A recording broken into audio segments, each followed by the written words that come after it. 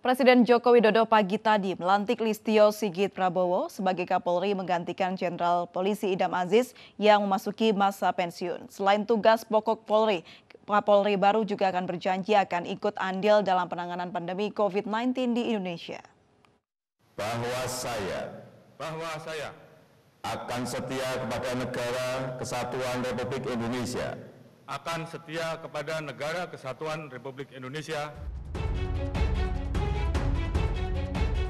Setelah dinyatakan lulus uji kepatutan dan kelayakan oleh DPR RI, Komisaris Jenderal Polisi Listio Sigit Prabowo dilantik menjadi Kapolri oleh Presiden Joko Widodo di Istana Negara Rabu pagi. Menggantikan Jenderal Pol Idam Aziz yang memasuki masa pensiun. Resmi menyandang Kapolri.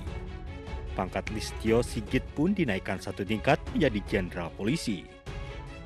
Selain menjalankan tugas pokok Polri, Kapolri baru juga memprioritaskan penanganan COVID-19 yang hingga kini belum reda.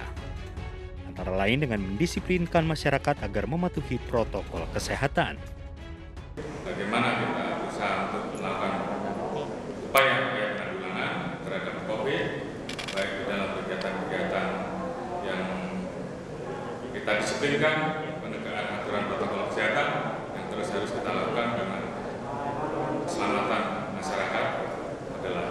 hukum tertinggi dan bagaimana Polri membantu mengawal pertumbuhan ekonomi nasional sehingga kita semua bisa segera terlepas dari situasi yang ada.